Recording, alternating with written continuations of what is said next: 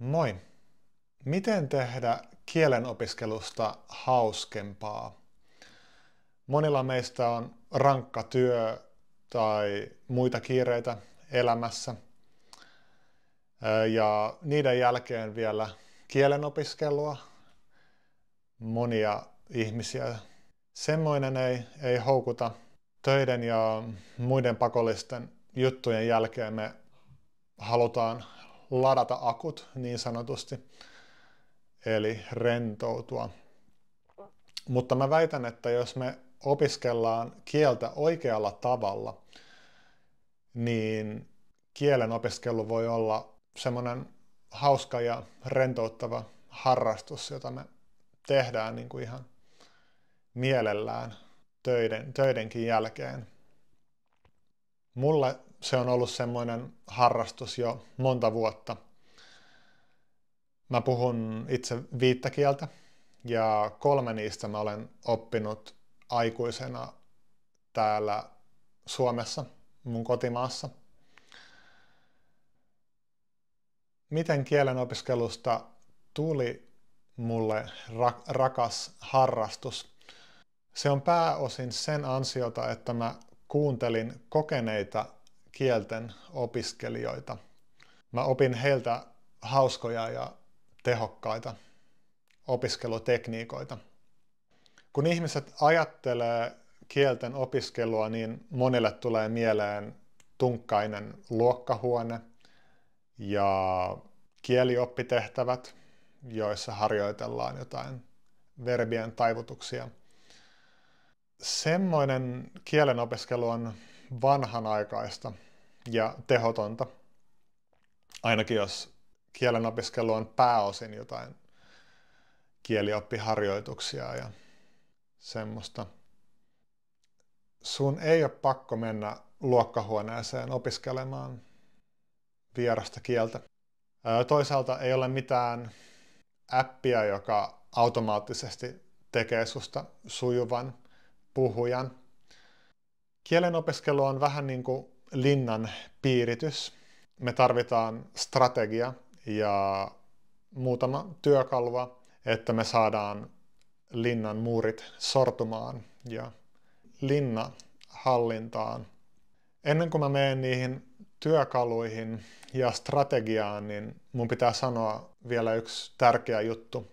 Jos sua kiinnostaa tehdä opiskelusta hauskempaa ja nopeampaa, niin on tärkeää olla avoin uusille tavoille oppia. Jos sä aina sanot, että no mä en ole semmoinen ihminen, joka voi oppia tolla tavalla, niin todennäköisesti sun opiskelu tulee olemaan tylsää ja hidasta. Monilla on joku tarina, että no mä olen laiska ihminen tai mulla ei vain ole itsekuria. On tosi tärkeää olla varovainen, että miten määrittelee itsensä yleisesti elämässä myös. Ehkä sulla on joillain muilla elämän osa-alueilla juttuja, jotka ennen tuntuu ihan mahdottomilta. Ja et en, mä ole, en mä ole semmoinen ihminen, joka voi urheilla säännöllisesti tai oppia valmistamaan monia hyvänmakuisia ruokia, mutta sitten jossain vaiheessa sä vain uskalsit alkaa yrittää uusia tapoja tehdä jotain asiaa ja sä aloit kuuntelemaan kokeneempien ihmisten vinkkejä ja nykyään sä oot aika hyvä jossain asiassa.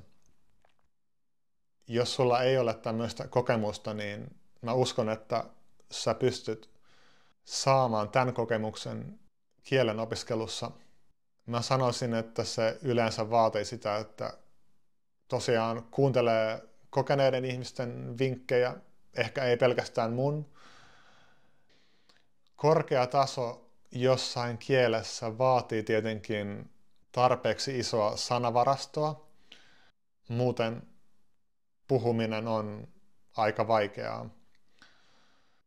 Mutta vaikka sanavarasto olisi vielä aika pieni, niin on pari oikotietä, jotka tekee ekoista keskusteluista helpompia. Yksi niistä on se, että opettelee yleiset kysymykset, mitä ihmiset yleensä kysyy, kun ne tapaa uuden ihmisen. Eli mistä sä olet kotoisin, miksi sä opiskelet Japania, jos sä opiskelet sitä ulkomailla, mitä sä teet vapaa-ajalla, onko sulla veliä tai siskoja. On rajallinen määrä tämmöisiä kysymyksiä, mä sanoisin. Ja sä voit opetella ne erikseen. Netistä löytyy listoja näistä kysymyksistä ja mä olen tehnyt yhden videon, missä on suurin, suurin osa tämmöisistä kysymyksistä. Mä laitan linkin siihen videoon tähän ylös ja videon kuvaukseen. Niin sä voit näyttää listan näistä kysymyksistä äidinkieliselle puhujalle. Jos sulla ei ole niitä sun lähellä, niin sä voit palkata heitä esimerkiksi iTalki-sivustolta. Sieltä löytää suht halvalla ihmisiä, joiden kanssa voi harjoitella kieliä. Siellä on sekä ammattilaisia että halvempia tutoreita. Ja heidän kanssa voi ottaa videopuheluita. Mä asuin itse Kiinassa vähän aikaa, viisi kuukautta, ja mä olin opiskellut kiinan kieltä vain muutaman kuukauden ennen sinne muuttamista. Ja mä käytin muuten Assimil oppikirjaa, joka on monien mielestä paras. Mä kävin myös noi kysymykset läpi kiinalaisten kanssa. Niin, mä heidän kanssa harjoittelin etukäteen nämä yleiset kysymykset ja sitten kun mä muutin Kiinaan, niin ihmiset kysyi multa yleensä juuri niitä, niitä kysymyksiä. Ja sen takia mua ei jännittänyt mennä juttelemaan paikallisille ihmisille.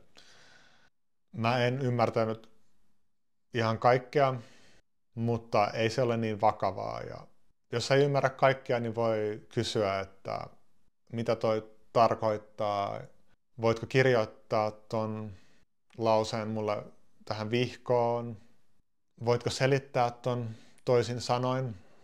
Ja monesti me ihmiset eleillä voidaan selittää monia juttuja. Ja tosiaan ei ole mikään maailmanloppu, jos ei ymmärrä kaikkea. Te voitte myös vaan vaihtaa aihetta ja nauttia siitä, että pystytte ainakin jonkin verran kommunikoimaan yhdessä paikallisten kanssa. Se on tosi hauskaa. Mikä muu helpottaa keskusteluja vierailla kielillä? Lukea yksinkertaisesti sarjakuvia sillä kielellä, mitä sä opiskelet. Miksi sarjakuvat on niin hyviä?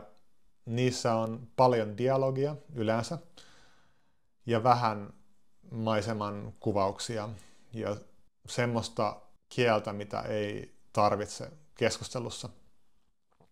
Kuvat antaa kontekstia, niin sanat ja lauseet jää paremmin mieleen. Musta tuntuu, että monet ei tiedä tai muista, että sariksia on myös tosi monenlaisia. Kaikki sarjakuvat ei ole suunnattu lapsille tai teineille. On olemassa hienoja rakkaustarinoita, jotka voi perustua johonkin klassikko romaaniin. On sotatarinoita, historiallisia kertomuksia. Jotkut sarjakuvat kertoo esimerkiksi mielenterveysongelmista. Kun lukee sariksia, niin kannattaa kirjoittaa ylös niitä lauseita, jotka näyttää siltä, että ne voisi olla hyödyllisiä keskustelussa. Kun mä olin nuorempi, niin mua hävetti tosi paljon, jos mä tein virheitä vieraassa kielessä. Mä pelkäsin, että ihmiset ei kunnioita mua, jos mä teen virheitä. Mä ajattelin, että no, eikö mä olekaan hyvä englannin kielessä, jos mä tein jonkun virheen. Mutta myöhemmin yksi kokenut kielten opiskelija Benny Lewis antoi mulle vinkin, että virheitä ei kannata pelätä liikaa, koska niistä oppii tosi paljon. Ne jää mieleen yleensä aika kirkkaana. Jos ei tee virheitä, niin se tarkoittaa yleensä, että ei luultavasti etene kovin paljon siinä kielessä. Ainakaan puhumistaito ei etene sillä hetkellä. Niinpä voi olla oikeastaan onnellinen, jos tekee virheitä. Tämä vinkki sai mut suhtautumaan puhumiseen aika eri tavalla. Ja se teki kielen puhumisesta hauskempaa. Ei se tietenkään aina ole hauskaa, kun tekee virheitä, mutta, mutta ne virheet vähenee kuitenkin ajan myötä ja se, että edistyy jossain asiassa nopeasti, niin se tuntuu hyvältä. Ja samalla kun me opitaan kieltä, niin me myös opitaan, miten meidän aivot toimii, miten me opitaan asioita, miten rakentaa toimivia rutiineita, opiskelurutiineita, ja me opitaan sosiaalisia taitoja. Jos me osataan ystävystyä helposti muiden kanssa, niin kaikki on helpompaa elämässä. Mä väitän.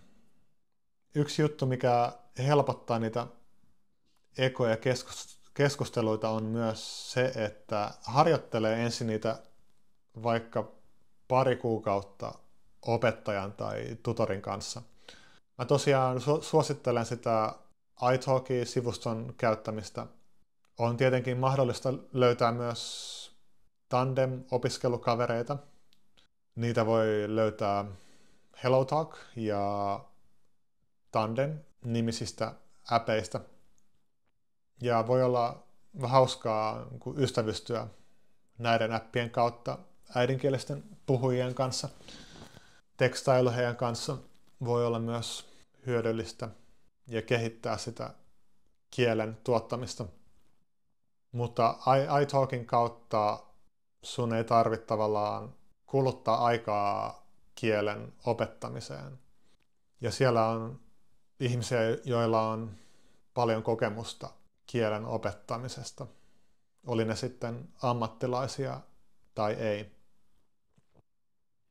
Niin jos vertaa luokkahuoneopiskelua ja kahdesta videopuhelua, niin valinnan pitäisi mun mielestä olla aika helppo. Jos sulla on ympärillä 10 tai 20 ihmistä, jotka ääntää sitä kieltä väärin, niin mä väitän, että ei sillä tavalla voi kovin nopeasti oppia yleensä. Ja kun juttelee kahdestaan tutorin tai opettajan kanssa vaikka kerran tai kaksi kertaa viikossa, niin teistä voi tulla niin kuin oikeasti ystäviä ja te voitte oppia tuntemaan toisenne aika, aika hyvin. No, tutorilta ja opettajaltakin voi kysyä juttuja ja heidät voi oppia tuntemaan aika hyvin. Somessa ja kielten opiskelutapahtumissa voi myös löytää sekä äidinkielisiä puhujia että ihmisiä, jotka opiskelee samaa kieltä.